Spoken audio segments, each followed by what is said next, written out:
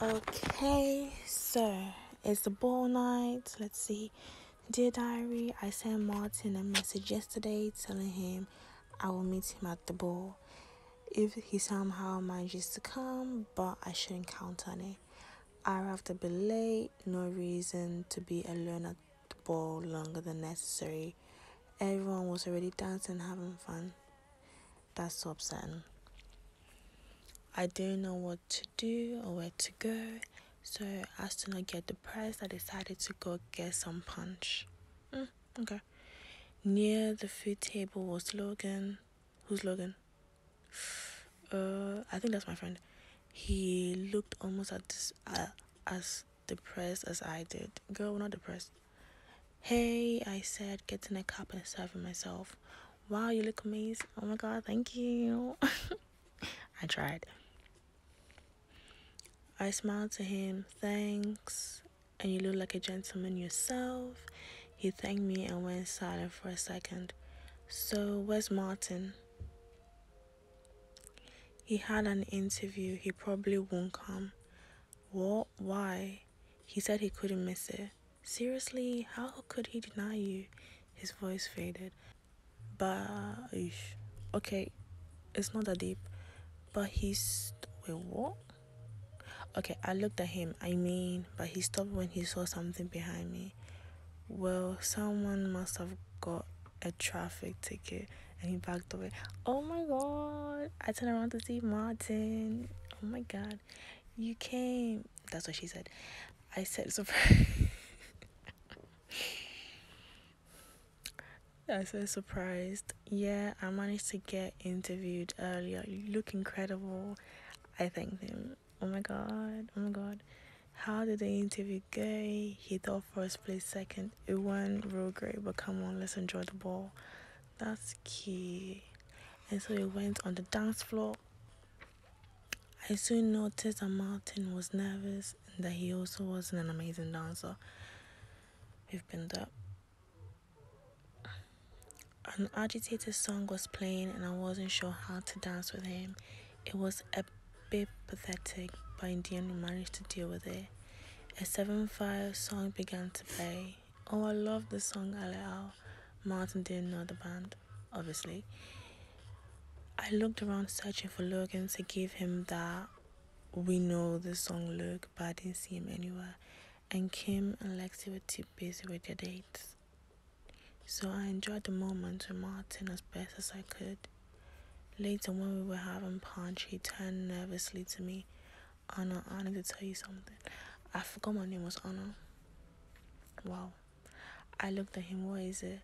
Could we talk outside? We went together to the school gardens and sat on a bench. I'm scared.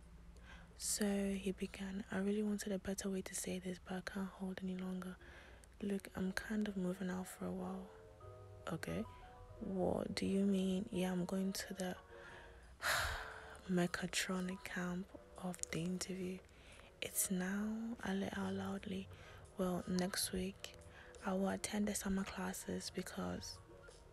Okay, I will attend the summer classes because of the robot battle. I was invited to the Ripley Institute of Technology.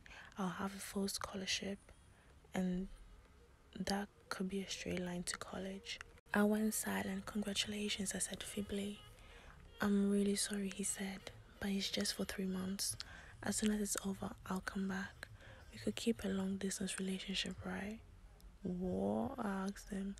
You know, we could use webcams and microphones on Skype to chat for as long as we like. We can even play online games together. I mean, yeah. I promise you never. Uh, I promise you'll even forget I'm away. He came closer to me. Could we try it, please, Anna? He begged. Um. Hmm. So I either go for I'm sorry, but I don't think I'll be able to do this, or okay, just three months to find a way. I want to say um, okay, just three months we find a way, just cause like th- three months passes by really quickly, but Mm, we just for this one. Oh, thank you so much. And he embraced me. We stayed like that for a moment. I don't know how it would be, but I really like Martin. He's just so sweet. And it's not like he'll be there forever, he's coming back. I mean, I hope so. Well, I'm gonna miss him, but we still have a week before he goes away. We'll make the best of it. Hmm. After party, okay. When I got home, I had a major task ahead, telling Kim and Lexi everything. I kind of needed them right now. I opened Friendbook and began a conversation with both of them together, hammering down, down the whole story. And I, Whoa. and I now, what kind of English is this? And now we're gonna try a long distance relationship. Hmm said Lexi, well, you could try, and I think it will actually work out, you know. But it could be a good thing to the less you see each other, the more you want to be with each other. When he's when is he coming back again? In three months. Well, look, him started. If it works, then it's really meant to be. Try out and see how you two feel about it. In any case, it's just three months. It might look like a lot, but come on, you've got the internet on your side. Trust yourself, girl. She's right, and what will be shall be, and I shouldn't keep worrying about it now. Actually, I think I should try out a new hobby over this summer. I mean, if he was focusing on his career, why shouldn't I?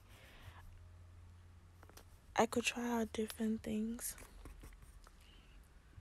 watch videos and see what I liked best who knows, maybe I could find what I would want to work with on college.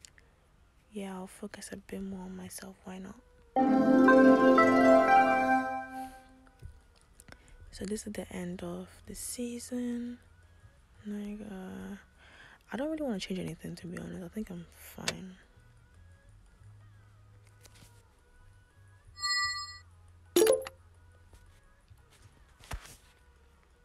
Okay so now it's like fast forward into september. Dear diary sorry it's been a while. These last few months have been a bit intense. What is the question? After the school ball i felt like my life changed so much. Boys can really mess up a girl's perfectly normal head.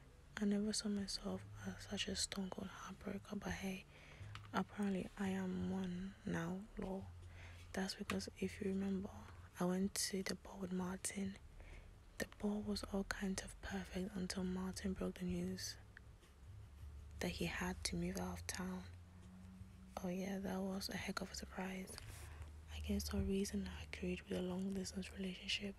At first, it was nice while we were constantly chatting on Skype, on Friendbook, and Charlie City Pics on Snapchat. But then he had to start attending more classes and got really busy with the program. I'm not blaming him. That was the whole point of him going there. But it was tough and a bit disappointing, I must say. I barely felt like I was in a relationship.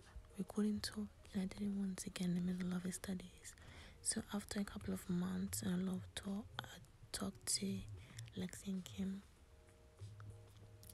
We ended up agreeing that it was getting nowhere, and I went to Martin and asked for a break. He was so busy that he had no room for great reactions. I'm pretty much okay now, even if I can't say the same about him. We barely had time to discuss the break. Apart from that, I got a summer job. That thought it would be nice a nice opportunity to become more responsible. Seriously, that David is not the role model you think he actually is. Actually, I'm the one in charge of taking care of Laura and the house anytime my parents are out. Still, I felt that it would be good, a good idea. My summer job was, hmm, um, I'll do um a video store one. I really enjoy movies and figured the job would be easy peasy as everyone has Netflix these days. I'm barely running movies anymore, but boy, was I wrong?